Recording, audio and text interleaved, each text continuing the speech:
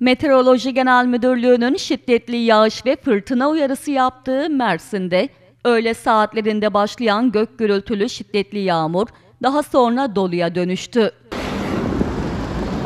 Önce batı ilçeleri Silifke ve Erdemli'de etkili olan dolu yağışı ardından Torosların yüksek kesimleri ve kent merkezini vurdu.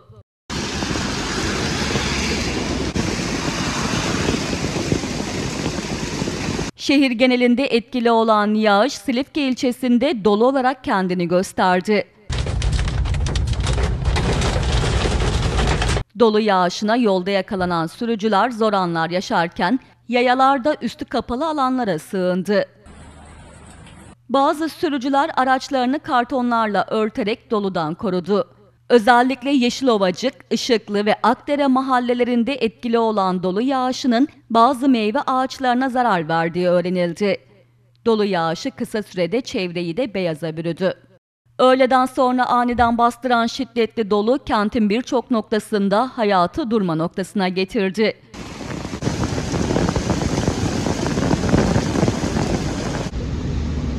Dolu yağışıyla birlikte her yer bembeyaz olurken doluya cadde ve sokaklarda yakalanan vatandaşlar kaçacak yer aradı. Cadde ve sokaklarda biriken dolu nedeniyle insanlar yürümekte zorluk çekti.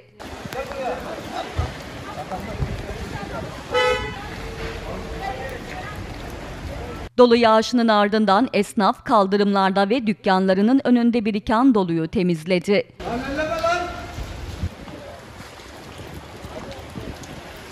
Yaklaşık 10 dakika süren şiddetli dolu yağışı esnasında seyir halinde olan sürücüler de zor anlar yaşadı.